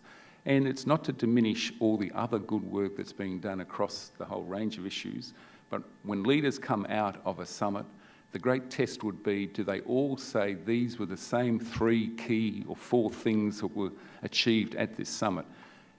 Part of the problem of summits we've seen now, when leaders come out, when they talk to their press, they, they have different emphasis of what was there, and immediately they're on to domestic issues, and there's not sort of the same narrative coming out of what's being achieved. So I would hope that looking towards the way the lead up that's been taking place now, what would be some of the headline outcomes that would come from the Brisbane summit, is very much this one of growth and the focus on growth, I think, as Marcus said, has many dimensions there. It picks up what's happening on labour market issues, it picks up on infrastructure, it picks up on competition, it picks up on trade aspects. But you've got a very clear change the conversation. We're pushing growth it's structural reforms, we're pushing the growth envelope out there, and we're going to hold ourselves accountable to it. The other one I would put an emphasis on is tax. This is a key issue now, particularly of civil society, the great concerns and inequality. This is the red light up there of this is they want to see progress, international progress on tax. And as I say, the G20 has to have some down payment. There's good work there, but to maintain that political momentum, they have to actually focus on some issues. The one I would say that they could focus on now is saying adopting this country by country reporting. They can do that now without waiting to the full completion of the 2015 package. But tax has to be up there and be seen to be achieving something. And the other one that Domenico has said, I think it has to be trade. They, in, there is a real problem now in terms of where the international trading system is. The G20 has to worry about all those other countries out there who are not in the G20. They're not in these preferential agreements. As uh, Mark Wallenberg said this morning, um, about it is so important the international trading system, the global trading system, reducing protections, there's rising protectionist pressures. The G20 has to lead on that. So there has to be a clear statement, a clear focus, pushing the envelope on trade. That's not to diminish all these other things, but these are the, what I would put out there as these headline outcomes, and that would make a successful summit. Excellent. Thank you so much. Please join me in thanking our panelists for their great contributions.